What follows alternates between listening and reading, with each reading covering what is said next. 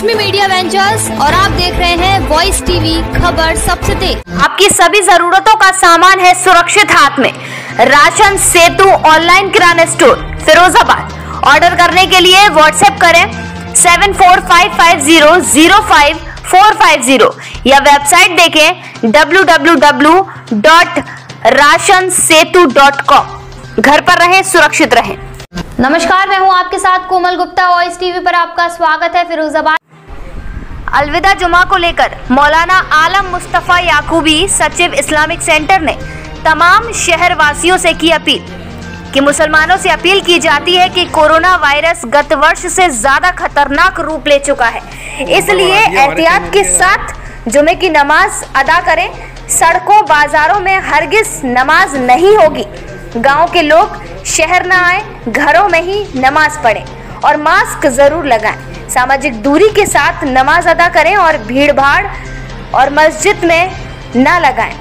फिरोजाबाद से मकबूल उद्दीन की रिपोर्ट।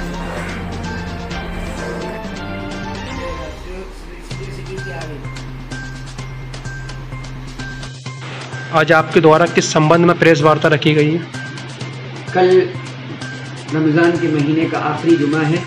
इस जुमे को जुमे को लोग अलविदा जुमे के नाम से जानते हैं। हालाँकि इस्लाम में अलविदा जुमे की कोई अहमियत नहीं। है लेकिन बहरहाल क्योंकि लोगों के दिमाग में ये रहता है कि शहर के गाँव के लोग शहर आते हैं तो मेरी आ, इस वक्त कोविड 19 का दौर चल रहा है कोरोना वायरस का दौर चल रहा है और बहुत ख़तरनाक बीमारी ने इसे रूप अख्तियार कर लिया है।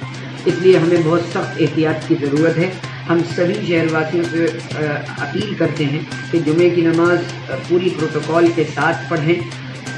समाजी दूरी का अहतमाम करें, मास्क का अहतमाम करें, मास्क को लगाएँ और ख़ास तौर से बूढ़े और बच्चों से मैं अपील करता हूँ कि वो लोग अगर अपने घर पर नमाज़ पढ़ें तो ज़्यादा बेहतर है और साथ में जो हमारा प्रशासन जिस तरह की मेहनत कर रहा है, हमें चाहिए कि हम कानून को हाथ में न लें और कोविड 19 के प्रोटोकॉल को सामने रखकर इबादत भी करें।